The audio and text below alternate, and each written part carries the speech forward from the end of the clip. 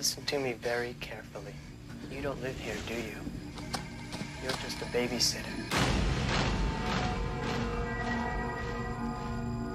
I don't think you're alone in this house.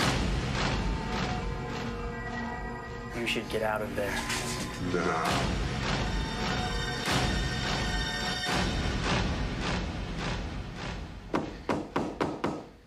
Come on out, Julia.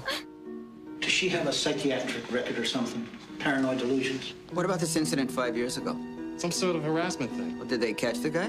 Apparently not. The incident five years ago was more than a harassment thing. Two children disappeared and they haven't been found yet, dead or alive. My door is triple bolted. I live up on the third story.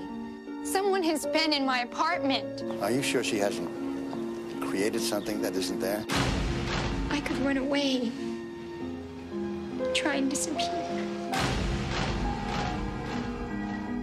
Then maybe they wouldn't find me. Who am I going to be today? You really shouldn't be alone when a stranger calls back.